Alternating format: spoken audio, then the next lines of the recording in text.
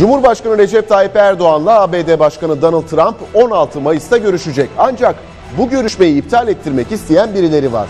Başını da ABD Savunma Bakanlığı Pentagon çekiyor. TGRT Haber Ankara temsilcisi Batuhan Yaşar, Türkiye Gazetesi'ndeki köşesinde Pentagon'un bu ziyareti iptal ettirmek için kullandığı argümanları ve kararın perde arkasını yazdı. Gözler 16 Mayıs'ta yapılacak Erdoğan-Trump görüşmesine çevrildi. Beyaz Saray'da gerçekleşecek görüşmeyi iptal ettirmek için birileri harekete geçti.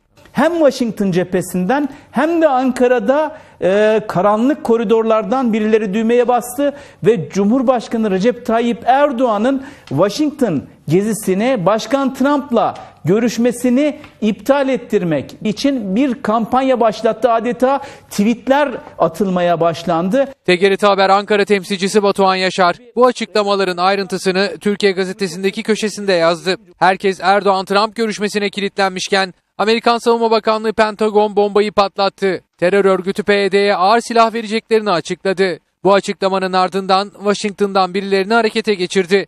Erdoğan artık gelmeyebilir. Erdoğan-Trump görüşmesi iptal olacak. Fısıltıları yayılmaya başladı. Hatta bu görüşme engellenirse operasyon tamamlanmış olacaktı. Kimse merak etmesin. Cumhurbaşkanı Erdoğan ABD'ye gidecek ve o görüşmede gerçekleşecek. Cumhurbaşkanı Erdoğan'ın müdahaleleriyle kaç kez olumsuz durumun değiştiğine şahitlik ettik geçen 15 yılda. Alınan kararla ilgili endişelerimizi 16 Mayıs'ta Başkan Trump'la yapacağımız görüşmelerde ayrıntılı bir şekilde kendilerine de bizzat ifade edeceğim. Cumhurbaşkanı Erdoğan Trump'la görüşmesi öncesi Washington'da tam sağ prese başladı. Türkiye'den Amerika Birleşik Devletleri'ne ard arda ziyaret gerçekleşti. Genelkurmay Başkanı Akar, MİT Müsteşarı Fidan, Cumhurbaşkanlığı Sözcüsü Kalın, Washington'da görüşmeler yaptılar. 16 Mayıs'ta Beyaz Saray'daki görüşmede hemen netice alınsın diye stratejik dokunuşlar bile yapıldı.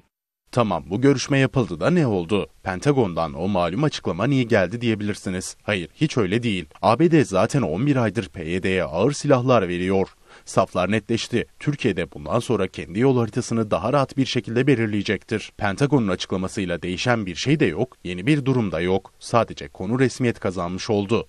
Batuhan Yaşar, Türkiye ile Rusya'nın Suriye'de kara harekatları da dahil olmak üzere birlikte adım atabileceğini bir kez daha vurguladı. Amerika Birleşik Devletleri Rakka operasyonunu Haziran ayında yapmayı planlıyor. PKK-PYD'nin SDG yapıldığı bir sistemle yapılacak Rakka operasyonuna Türkiye katılmayacak. Son Pentagon açıklamasının ardından ABD Suriye'de PYD-YPG'ye devlet mi kuruyor soruları açıktan sorulmaya başladı. Biraz daha sabırlı olup bekleyelim. Daha köprünün altından ne sular akar, şunu şurasında 16 Mayıs'a kaç gün kaldı?